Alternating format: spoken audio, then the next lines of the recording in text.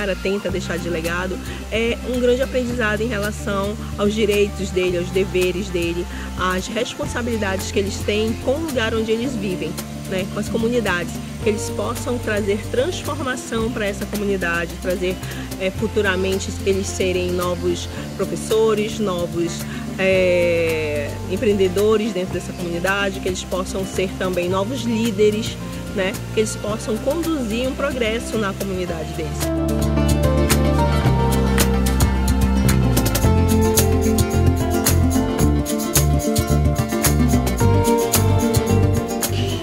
Principal de tudo, com certeza, é que eles acreditem nos sonhos deles, né? que eles comecem a, a buscar e lutar para garantir os, os direitos e deveres deles, é, que eles lutem para garantir políticas públicas, que eles saiam jovens mais motivados, que eles se, se unam a outros jovens e para formar grupos de jovens, para pensar em melhorias para a comunidade. Então isso é muito importante.